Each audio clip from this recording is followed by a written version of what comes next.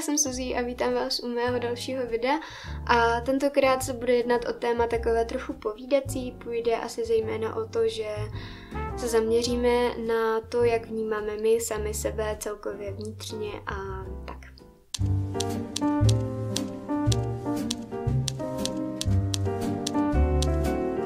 Nejprve bych na začátek chtěla říct, že nikomu tímto nevnucuji svoji žádnou filozofii, žádné rady, nikomu to nepředhazuju, nenutím, to, nenutím tomu nikoho věřit, prostě je to jenom, jsou to moje myšlenky, jsou to moje takové nějaké postřehy a tak, takže kdyby se v tom někdo našel, tak budu jenom ráda, ale pokud s tím někdo nebude souhlasit, tak eh, je to jeho věc a já to nikomu nenutím. Co bude teda předmětem asi? Budou to takové tři věci nebo tři body, já nevím, jak to máme říct.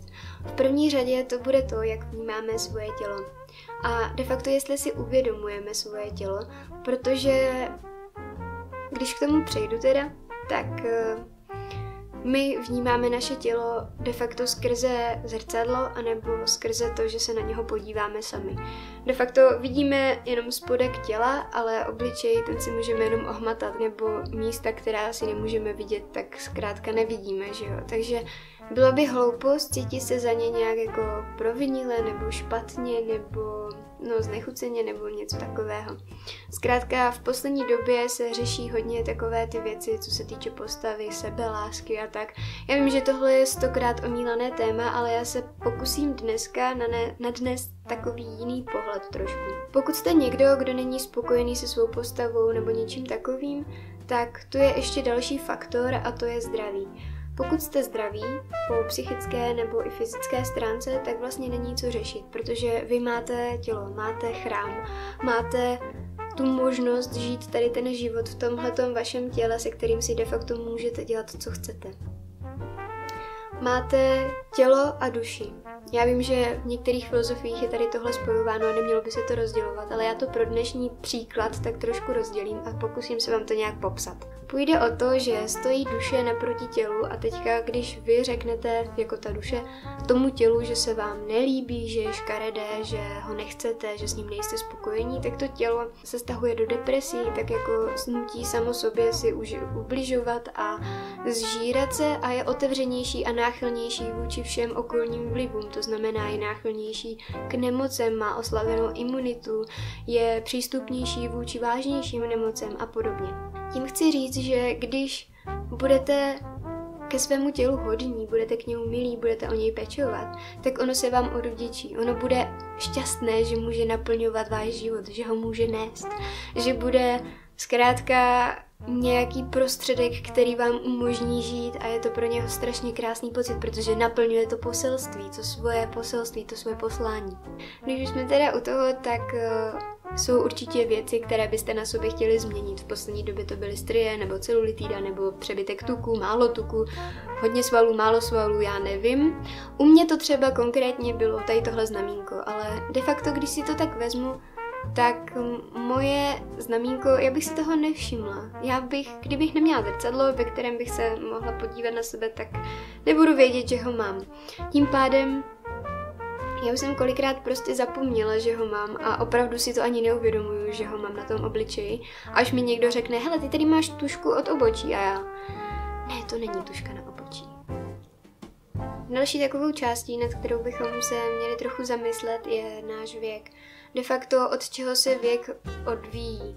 My jsme si věk jako lidi stanovili jako nějaké číslo, od kterého se prostě odví, odráží naše postavení, naše, uh, já nevím, činy, plnolétost, 15 let, občanka, bla, bla a takové věci.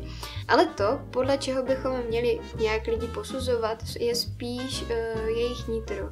To znamená, že věk tady v tomhle nebo nějaké číslo v tomhle nehraje roli. Podle mě by se věk měl počítat podle toho, jaké kdo má zkušenosti, jak je kdo vyvinutý, jak kdo o čem přemýšlí, trochu toho člověka poznat. Jasně, vy si řeknete 50 let, jo, ten už má za sebou strašně moc věcí, strašně moc zkušeností, ale ve výsledku třeba ten člověk seděl celý život doma, nic nedělal, ale byl prostě bohatý a tak. Dala jsem jenom příklad, ale asi chápete. Takže nesoudit člověka podle věku a ani vlastně podle těla, ale spíš jak je vnitřně vyvinutý, jak je posunutý, jak je povznesený nad sebe a tak.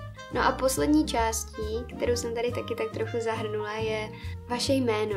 Je to už takové z vašeho prenatálního období, kdy vaši rodiče vám vybrali nějaké jméno, které nese určitou vibraci, určitou harmonii, jakou, jaké skládá se z nějakých slabik a samohlásek a tím vlastně, jakou, jaký má význam, jakou nese historii, z čeho vlastně vychází, tak to se jakoby zakódovává do vás tím, že vlastně na vás takhle volají, že vás tak oslovují, tak tím vám jako zarývají jakousi podstatu, ze které vy potom rostete dál.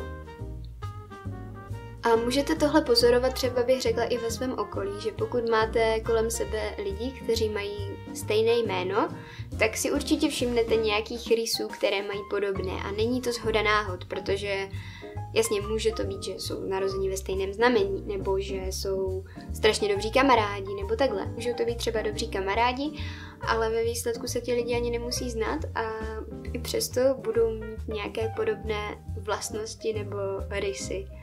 Já to takhle pozoruju u jednoho jména, nebo možná u dvou, a je to fakt zajímavé, už jako když někoho takhle potkám, tak si možná udělám takovou, takový jako předsudek trošku, ale ve výsledku se mi to třeba jenom potvrdí, takže a když ne, tak jenom jsem se spletla. Každopádně, když tady tohle všechno schrnu, jsou to jenom takové jakési myšlenky, které jsem se snažila vám nějakým způsobem předat. Doufám, že jsem vás tím moc nenudila, ale zkuste se nad tím taky třeba zamyslet, nebo dejte mi vědět, jestli se nad tímhle třeba někdy zamýšlíte, nebo jestli jste o tom někdy přemýšleli, jestli jste to někdy s někým rozebírali. Já budu moc ráda za vaše reakce a budu moc ráda, pokud se najde někdo, komu by tady tohle video třeba pomohlo se nějak posunout, nějak vnitřně vyrůst nebo něco podobného. Tak je to bude asi pro dnešek všechno. Doufám, že užíváte víkend nebo co zrovna teďka máte a mějte se moc hezky. Ahoj. Zrovna teď, opravdu, no, budeme čistit chodníky. Stejně to budou sypat znovu, protože tam sněží. Takže může mrznout a můžou sypat znovu.